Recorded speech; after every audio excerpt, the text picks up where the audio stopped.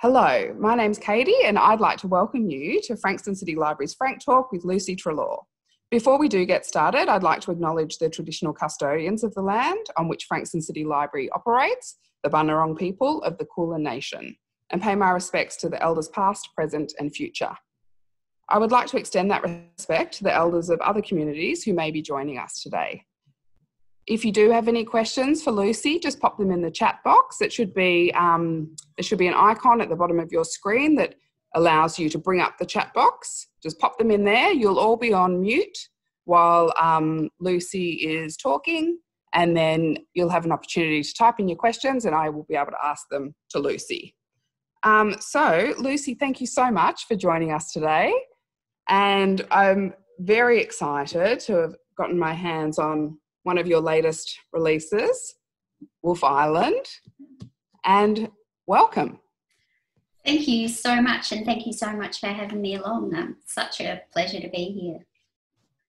Um, I thought I'd um, I first would like to start by also acknowledging um, the traditional owners of the land that I live and work on, the Wurundjeri people of the Kulin Nation, and I think it's particularly important in light of what's happening globally about Black Lives Mattering.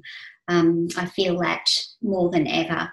Um, so I'd like to acknowledge their elders, past, present, and future. Um, yeah, and I'm sure that you would all share in that with me. Um, I thought I'd start by just talking a little bit about Wolfe Island and and how I came to write this book. Um, it seems not the most obvious thing to to um, to have written for an Australian author, a book that's set in on the east coast of the United States. And I, I came across the idea for this book in a kind of uh, roundabout way. Um, I'm a great procrastinator, as a lot of writers are. And I was trawling around on the internet one day, not writing when I should have been, and I came across an incredible photograph of an island a very, very small island, about the size of a bourbon block, I suppose, that was taken up entirely by quite a large house. So it was just a house that seemed to be floating on the sea. And there was a little uh, bulldozer that was pulled up to the front door as if it was the family car. And this bulldozer was being used by the person living in the house just to keep pushing the soil back to hold a little wall against the sea. And uh, I, I, saw this picture White House, this blue sea, blue sky, and this extraordinary light. And I just thought, ah, that's my next book. And it, it was a picture of the United States. So I immediately also thought, I'm in so much trouble because I knew I would have to visit there. But it was a little bit like, uh, being caught like a fish on a hook, I suppose. There was no kind of escaping that moment. And um, so from there, I just started exploring the world that that photograph came from. And, um, and, it, and it was that image, I think, that, that set me on that course of looking at something that was partly about um, the changing world that we all live in, about the climate affecting everyone. Although I hadn't been thinking I must write a book about um, climate change, that wasn't my aim at all at the start. And so I, I began reading a lot about that world and um, was incredibly lucky to get uh, a very good Australia Council grant and went on two long trips to the United States of about a month each. And I just drove around this region, which is the Chesapeake Bay.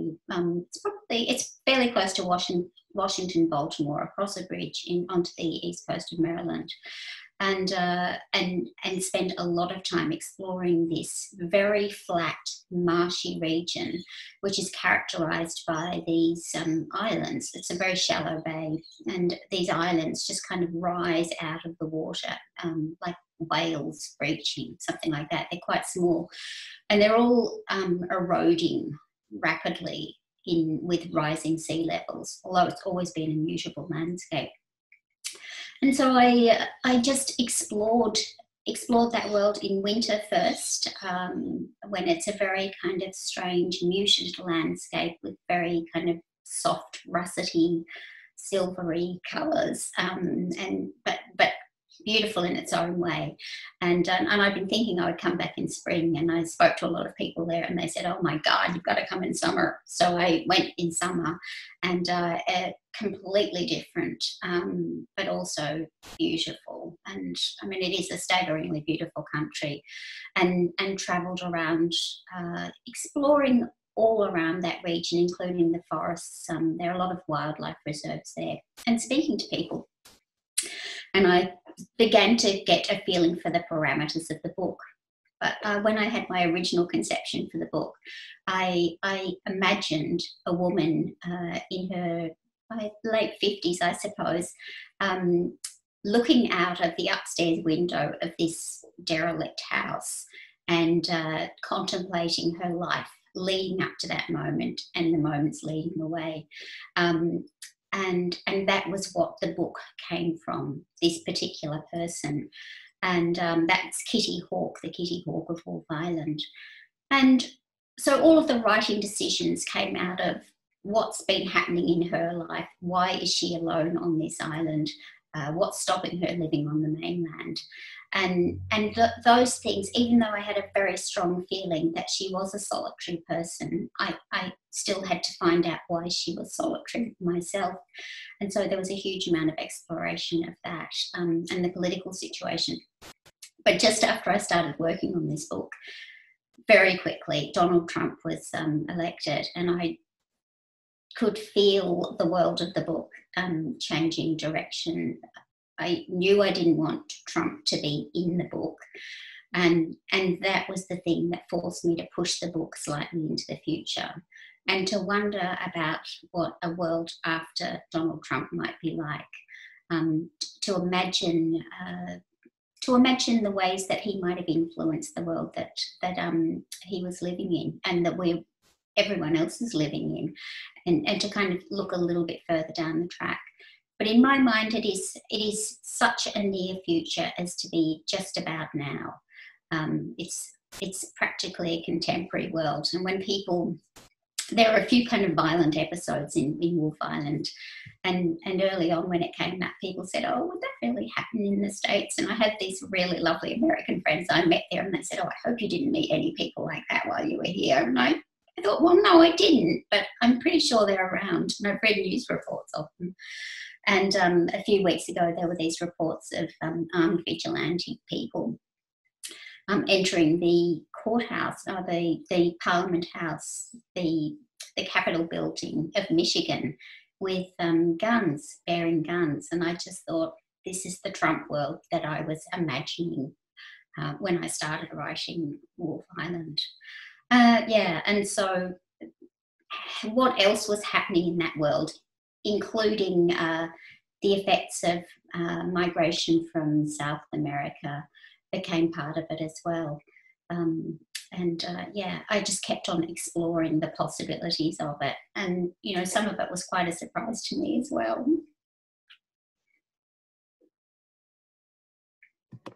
Beautiful. Thank you, Lucy, for filling us in on that. Amazing. I'm always curious as to where the story starts for an author, at what moment that inspiration strikes. And so, where was the photograph that you saw? Where did you spot that?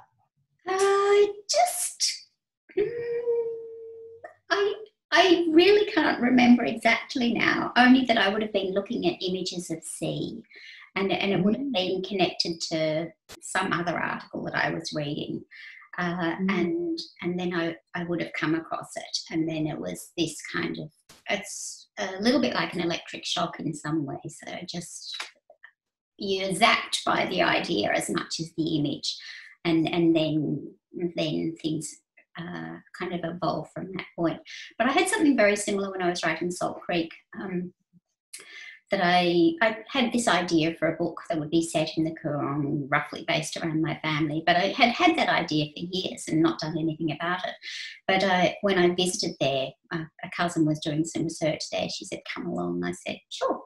And I went there and I thought, oh, right, I get it now. And I started writing there. I was sitting on a sand dune, and it is that sense of place, I think, that is a really strong ignition point for me. Um, and strong sense of place, of landscape, and then that moment of imagining a character who is living in that world and what's happening to her in that moment. Uh, yeah, those are extremely significant for me. Mm.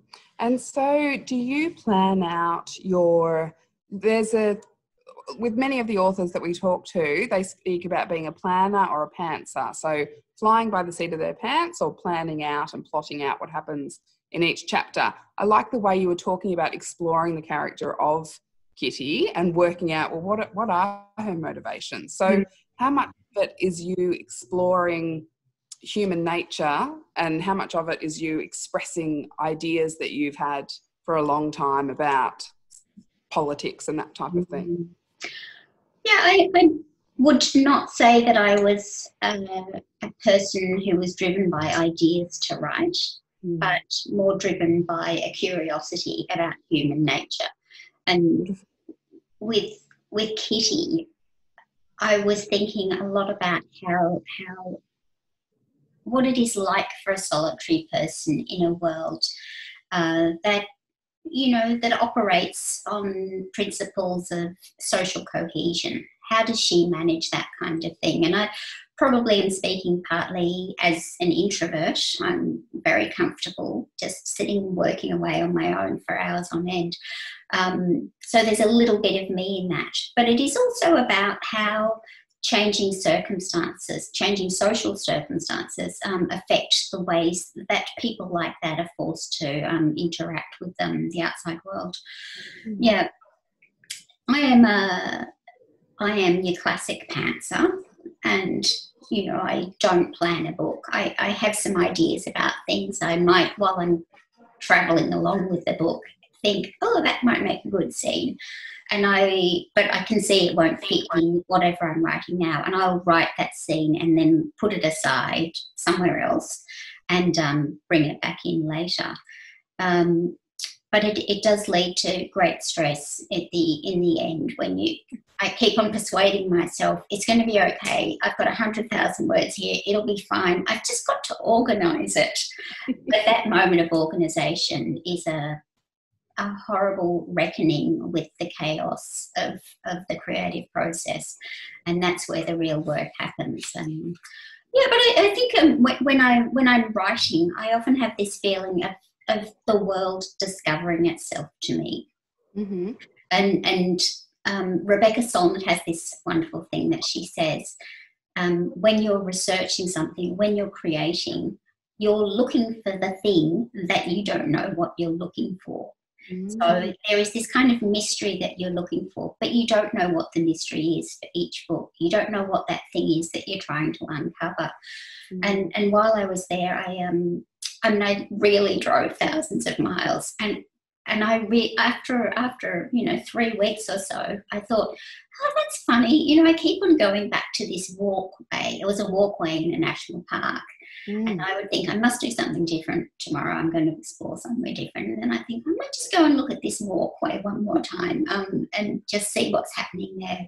And I would find myself going to these, um, uh, the, going back to places again and again as if I was trying to uh, find something out about them or uh, live myself into that world so that I became familiar with bits of it so I could inhabit it in the writing. Mm. And I literally would get lost. I would just drive out in this marshland along these kind of really serpentine roads mm. and, and, and get lost and think, oh, well, let's see what happens, shall we? And, um, and I would not quite break into these falling down houses. But um, yeah, I would just kind of pull up at these derelict houses mm. and and just go exploring in them. There's usually a way to get into them. Sometimes there would be locals around, and I would just say, if I don't come out, can someone come and look for me? And they were all, yeah, cool. Um, uh, yeah, but but I didn't know what I was looking for exactly. Only mm. that I was trying to feel what that world was like. And mm. as soon as you can feel the dimension of a place that you're looking and you're walking in it, you're feeling the background under your feet, you're smelling it, um, you can touch it, you can see the things that people leave behind of their lives when they leave places like that, then you can start imagining uh, what what those people are like themselves. You can begin to inhabit those. I mean, we call them characters, but I prefer thinking of them as people. I'm trying to find out who they are. I'm not trying to construct them. I'm trying to find them out. Um, yeah. I, I find that uh, probably the most rewarding but frightening and unfathomable part of the, the writing process. This this kind of odd helplessness that you you feel, terror, mm-hmm. um, discovery. It's exciting as well, but it's also this sort of despair that you feel sometimes. I have no idea what I'm doing. So I'll just go and look at that thing again, I think. yeah. It reminds me a lot of um, some of the things that Elizabeth Gilbert writes in Big Magic about how you almost have to, you know, half ignore the creative process, but yeah. give it time and energy, but also just ignore it a little bit because it, it is, you're waiting for things to reveal itself. But if you pay too much attention, it won't do it yeah, yeah. No, that's right. corner of your eye. yeah, I think there's a lot of that. Yes, we've mm. got lots of questions coming through now, Lucy. So, just um, Sophia is asking, at what point did you stop researching and traveling and start writing your first draft? Yeah, I, I, uh, I did this with Salt Creek as well, that I write and do the research at the same time so mm-hmm. that I sort of write out of some of the research that I've already done. And then I go, and then I'll just kind of write forward as long as I can, read a bit. And I read a few kind of accounts of people who lived on these islands. Um, uh, and then I would go back and do a little bit of research. And, and somehow this kind of connection between the research and the creation is a dynamic one for me. It is not just a research then write, but it is it is a kind of ongoing sense of discovery. And from that research, strange little plot points um, arise, and and and kind of odd connections that you that you mightn't expect, and even people that I met. And I, I went and stayed on this island in the Chesapeake Bay called Smith Island, which is um, the Wolfe Island is roughly geographically like Smith Island, but it is has still got a population of I think about hundred people. Mm-hmm. Um, fascinating place, and just meeting some of those people suggested plot points. And there was a person I met on this island um, who became a very minor character in the book, and I have this kind of fondness for him because he was such a kind of relic of a I don't know, a relic of some kind of past world. And I wouldn't have had him if I hadn't been doing that research. Mm. And somehow those little bits of research have a way of creeping in, not in a kind of chunk of information way, but in this kind of soft um, world building way. And that's an, ongoing process and you know the political situation kept on evolving in the states while I was writing, and so that kept on finding its way into the book as well. You know the horrific way that um, immigrants were being treated and incarcerated, um, ongoing. Mm. Those sorts of things just kept on appearing.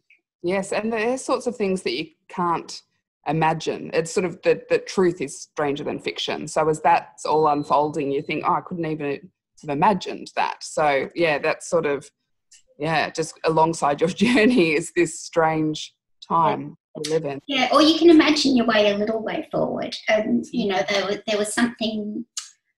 Oh, and when they started separating mothers from babies, I thought, ah, I didn't think they would be that cruel. I hadn't, I had like I had imagined my way a little way forward, but I hadn't made that leap.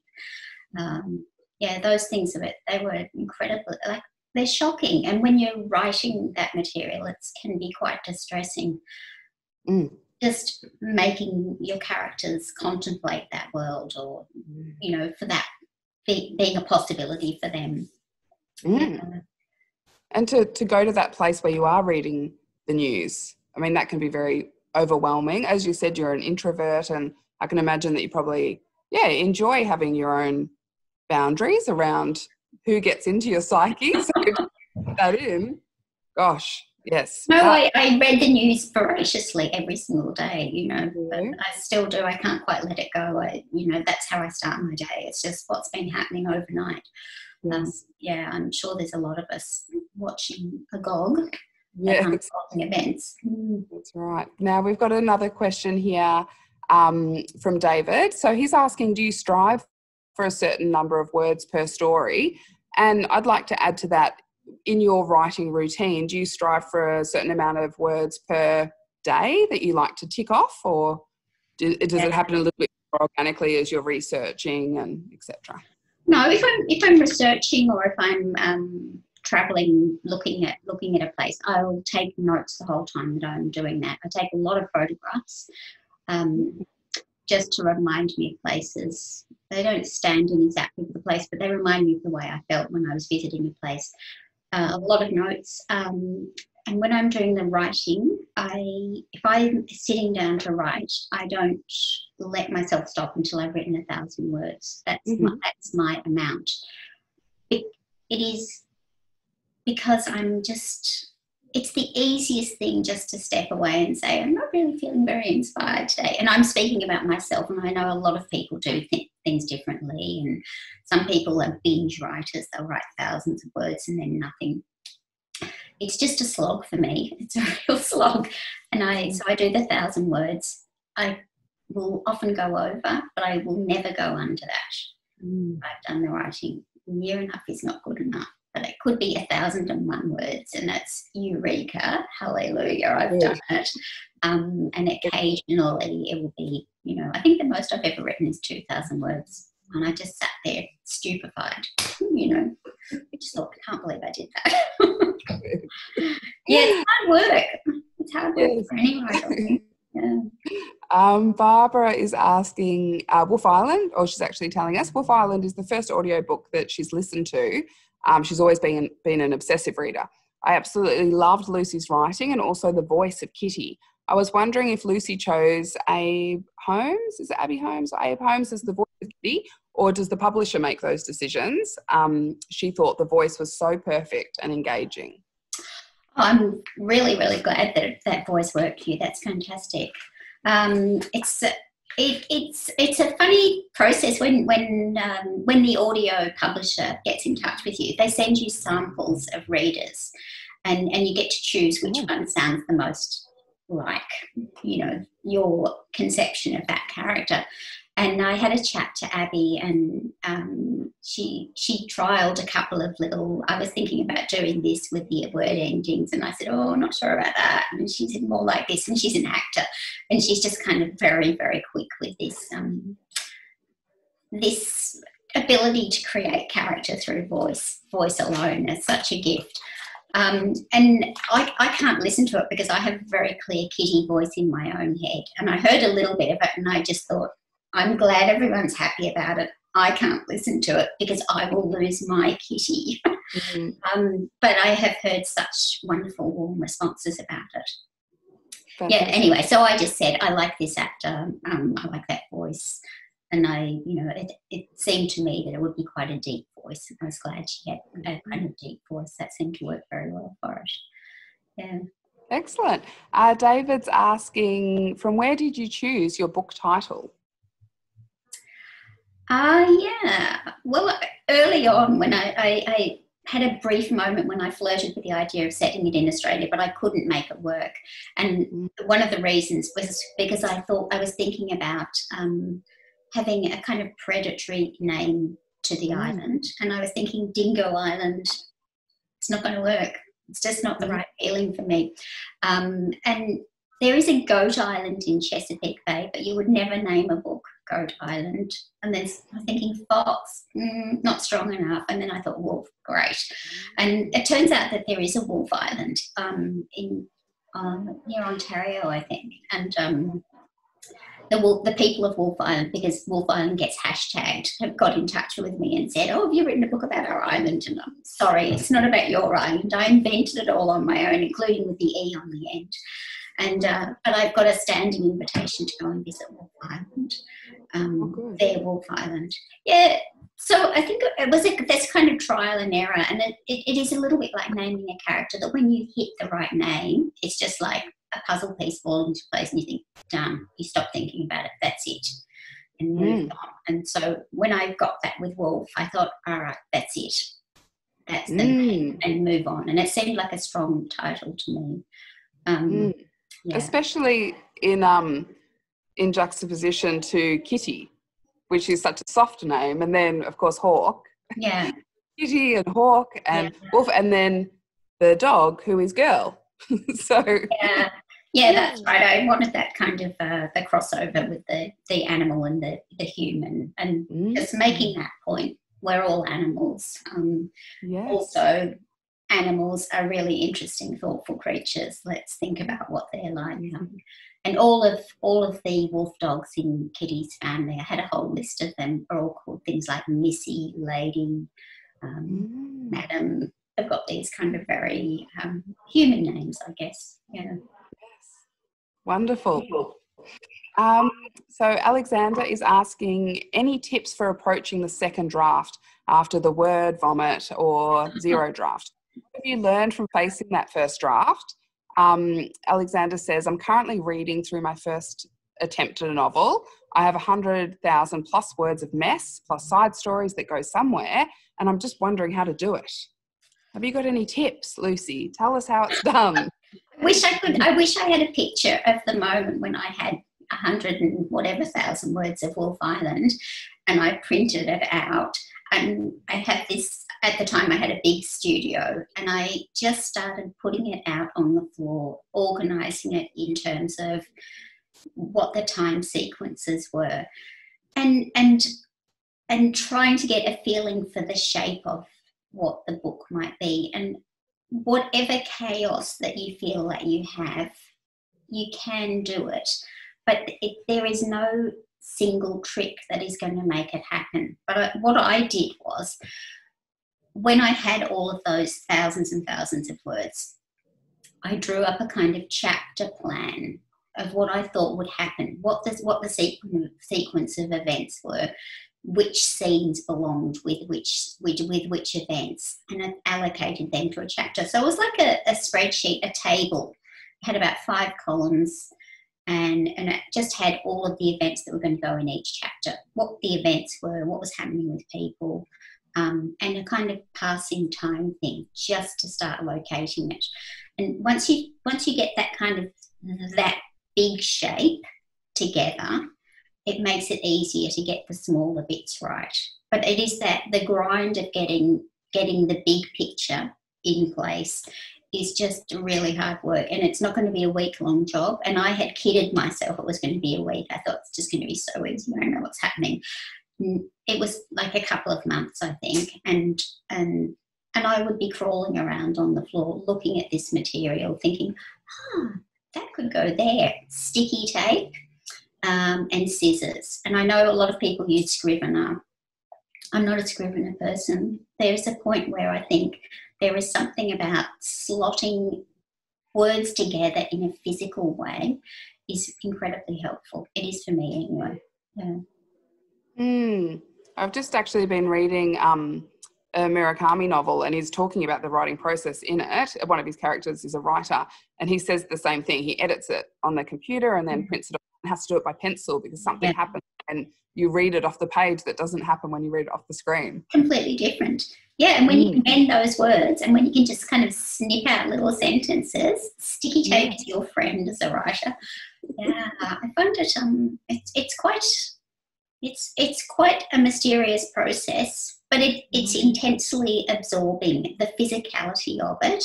I would be doing it, snipping away, sticking, um, making little notes, and thinking it's a craft. There is this kind of weird thing where writing is, a, in some ways, a craft. Um, Mm. it's not only to do with crafting words on the page, it is to do with making those words, shaping them in the physical sense, shaping the, the way those words are going to connect to each other. Mm. Isn't it fascinating what can be done with words? You think there's a limited amount of letters that we have in our alphabet, and yet we arrange them a certain way and come up with novels. It's incredible.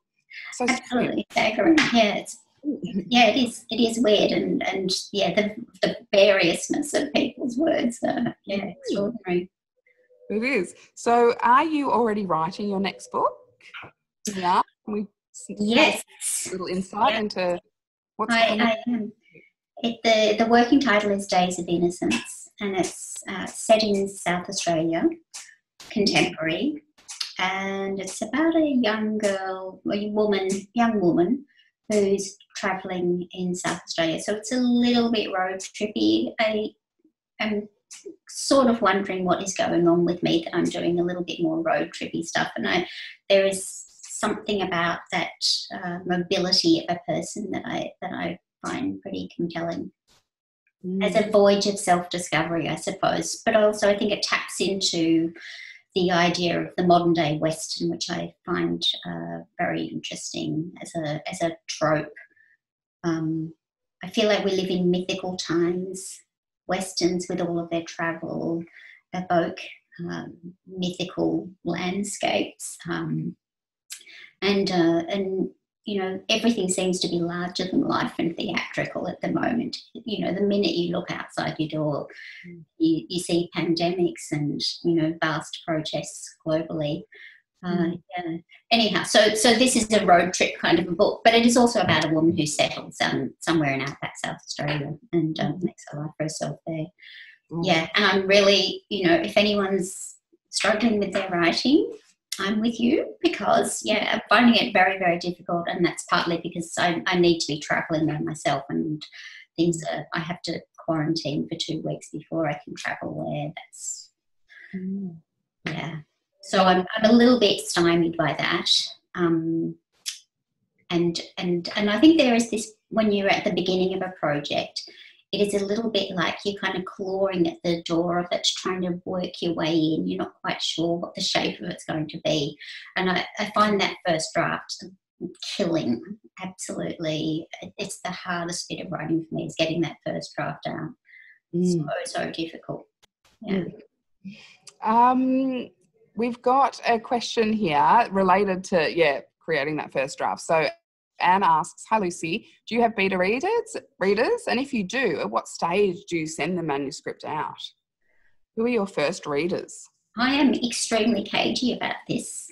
Mm. And I and I think it is partly because with my um, first novel, it went out to a couple of readers and I would get feedback and I would think, oh, yeah, no. And because I wasn't confident about what I was doing, I would kind of change things to suit them. And then it would go out to another reader and they would really like all of that stuff to be stripped out and something different to happen. And and there was a kind of a, a slight loss of confidence about it, I guess. But but also, I mean, it is an incredible learning process. You find out what it is that you want yourself.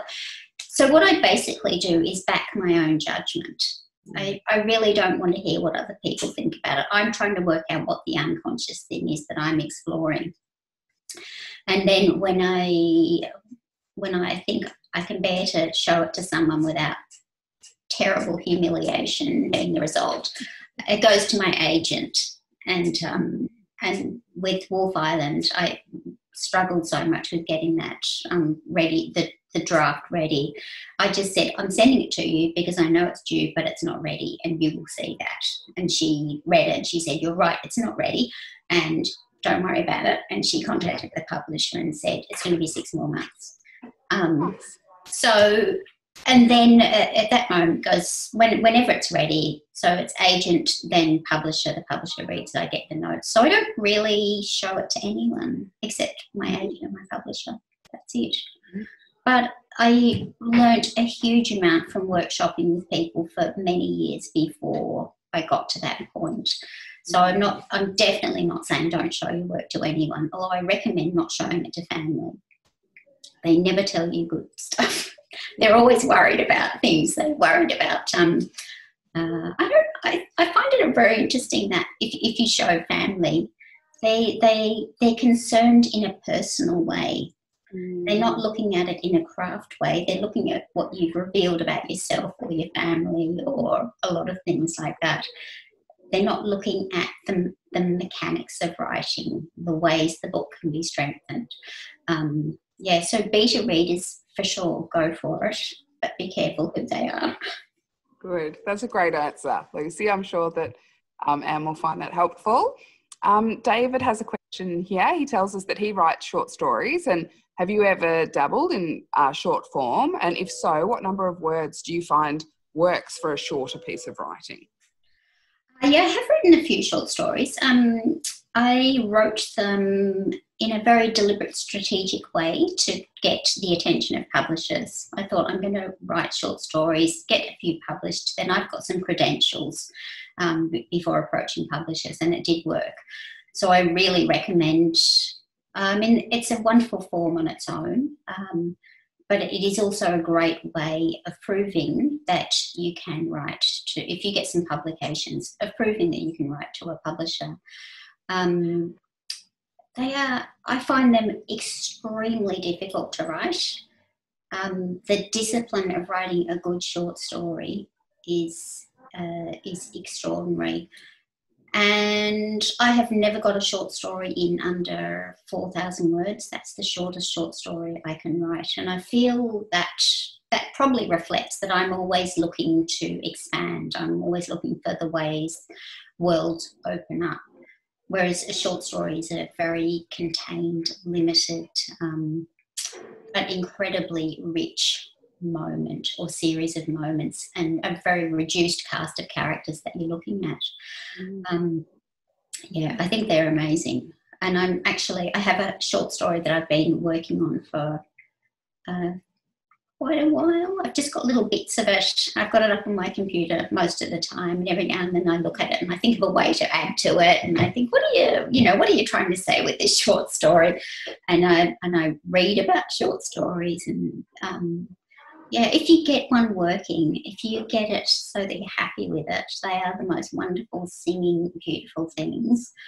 Um, mm. but yeah, they're so difficult. And I think this one will be, you know, well over 4,000 when it's finally done. It's about seven now. Um, and mm-hmm. trying to get it back a bit. Good luck with it, I say. yes. You could always just turn it into a bit of a novella. If it just gets if you get too carried away you can sit somewhere between short stories novella and then who knows it could end up being being a novel. Well i have, I thought about i have occasionally just thought why don't i just let it go? Just mm. let it grow and expand. Mm. yeah. Um, we've got a question here from sophia. She's asking do you usually have a few book ideas at any time or do you try to be disciplined and just work on one idea at a time mm. it's answered that with the with the novel that you're working on then you've got your short story up on the screen yeah. and any other others yeah um the, yeah, no, basically, if I'm working on one thing, that's the thing I'm working on. So I've been mostly working on my novel lately, and the short story just sits over at the side. And if I'm in a state of complete despair about the novel, I'll have a little look at the short story. I've got a little folder of another novel idea that I had um, before I had the idea for this novel but I it, it's also set in the states and it's a historical novel and I had a chat to the publisher about it and, and they you know they said for sure write it but this is the one that we'll be interested we're, we're more interested in this so there's a kind of commercial reality as well and you know they went out on a limb and published a book set in the states by an Australian author mm. and um, that was probably a little bit of a commercial risk, and I, it's done well, um, which is great. But I think they're keen for me to write an Australian book, and uh, for me, this book is the one that I want to do next. So I have this other historical fiction, which feels like it would be not a long book at all, maybe 60,000 words, which is pretty short for me. Um, and I'll think about doing that further down the track, but I have to go back to the States to go and explore this particular region to do that. And there's a huge amount of um, historical research to do as well with that. yeah, no, I don't have a massive number of ideas for, for novels. I just have one that I get hit by really hard, and then I kind of have to I have to do that until it's done. And I sit there and think I'll never write again. And then you know, a year later, I come out of my stupor and um, get going again. There'll be a new idea that appears. Lovely. It sounds like a pretty delightful way to write and live. Just wait for inspiration to strike. I'll tell my partner that and he'll have a good laugh. um, we've got a question from Gwen saying, uh, Lucy, do you have a favourite genre of books that you read for pleasure? Oh, I am a great. I, I, basically read literary fiction, and it doesn't matter if it's historical or speculative or um, um, can be anything really. But I, but I am very interested in books that pay attention to the way words are put on the page. So it is always about the writing for me rather than about um, the story being told. Um, I'm interested in people and the ways they respond to situations. Yeah, I'm, I'm, I'm, I find things that are very, very dependent on a tight plot a little bit claustrophobic to read, so I avoid them um, only because I just will put them aside. I have this kind of, I feel a bit trapped in a book that's very, very plot dependent. Um, yeah, but that's a personal thing, and I know, I'll, you know, probably most people like a really tightly plotted book. Um, it gives a great deal of security for a reader in that reading moment. Um, and people generally find it very pleasurable. But I like to kind of sink into the words and to kind of think, be thinking about how the language is working, the possibilities for the way the language um, works on a page, adding to meaning um, of the text and to character um, and action. Yeah. So mm. I, I, mean, there's a couple of writers I really love. Um, uh, I went through a big Cormac McCarthy phase when I was writing Salt Creek, which I can feel a little bit on the page.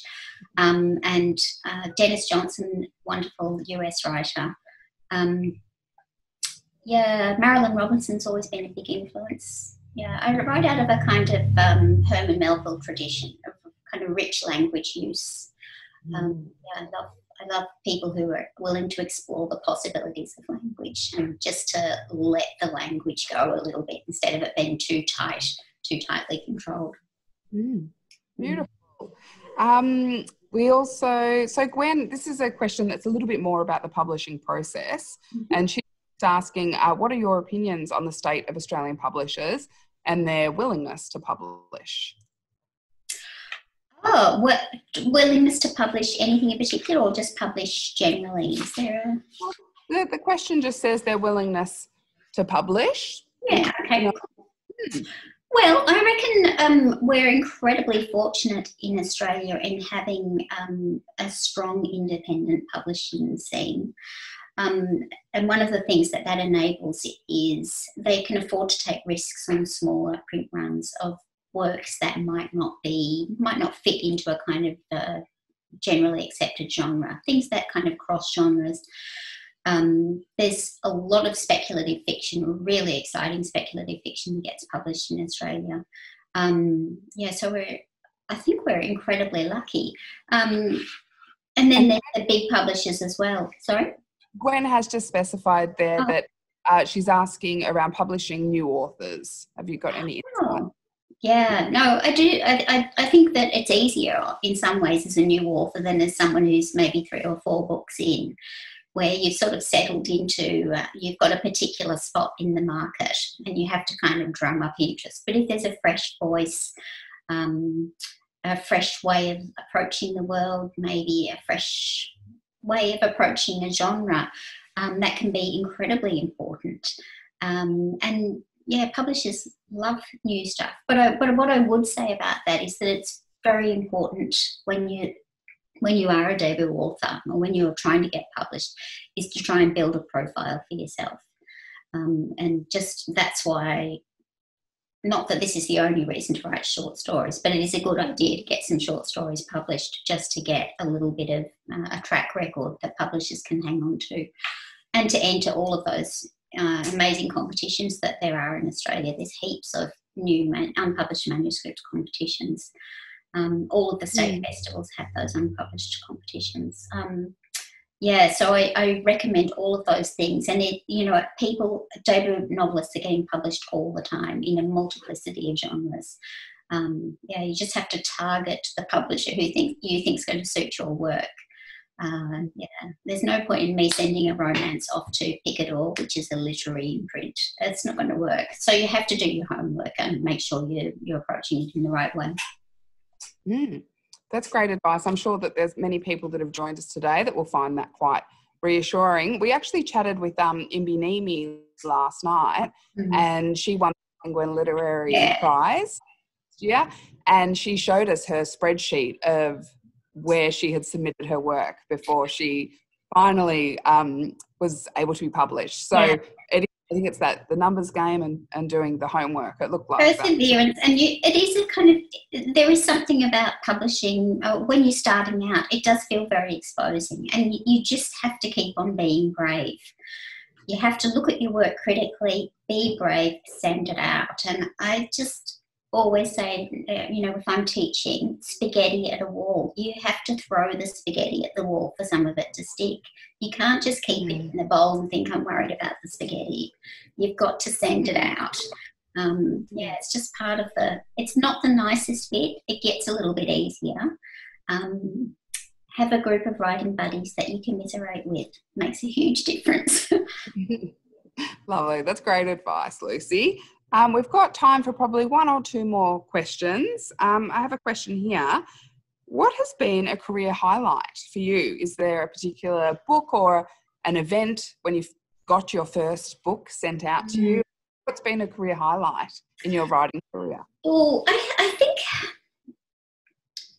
the, the first time I had a short story published, that mm. was, I, I just thought, I have done that thing that I've been aiming for. I just felt like I had got my foot on the step and I would be able to heave myself up to the next step. That was an incredible breakthrough. And partly because I had aimed for it in this incredibly um, strategic, purposeful way, which is really uncharacteristic of me. I'm a little bit of a I don't want to call myself a slacker. I'm not the most driven person in the world, but I was really driven about this. I was really determined to do it. Um, and, and so that was an amazing moment. I won an unpublished manuscript competition um, a few years ago, and through that, I got an agent, and then things really snowballed from that moment. So, I mean, if you get somewhere in one of those competitions, and you don't even have to win them, if you place in one of those competitions, publishers are going to be interested in your work. They will want to read it. Um, yeah, so that moment of getting the attention of publishers, when publishers actually got in touch with me before me getting in touch with them, I just sat there looking at these emails coming in and I just thought, oh, Penguin just got in touch with me. Hmm. I mean, it's a, it's such a fantastic moment. That moment when you feel like um, things are opening up instead of things uh, uh, things just it, it can feel like a closed door that's being mm. presented to you. But when the doors start opening a little bit uh, yeah that's an amazing moment. And those for me would be the big moments. Mm. oh great. Thank you so much lucy. And thank you so much for your time today and all your insight. It's been absolutely lovely to chat with you today um, so Wolfe Island, hope you can see it here, is available to reserve now with your Frankston City Libraries membership, or you can access it um, online for free via our RB Digital app, Borrowbox app, or Cloud Library app. You can also purchase Wolf Creek, oh, not Wolf Creek, sorry. You're not the only one. Wolfe Island or Salt Creek um, online, thanks to Robinson's Bookshop in Frankston. We'll put a link to their website when we share this FrankTALK on our social media channels. Um, please do keep an eye on our. Uh, oh, sorry, we just have one more comment from Anne Connor saying Wolfe Island is a fab book. So there you go. what Thank more you. do you need? Um, if you keep an eye on our Frankston City Library's website, we've got some more great FrankTALKs coming up. And please join me in thanking Lucy for her time today. Thank you so much, Lucy. Best of luck, everyone. Thank you very much. Thanks Thank for chatting you. today. Okay. Okay, stay everybody, and we look forward to seeing you in the library when we reopen.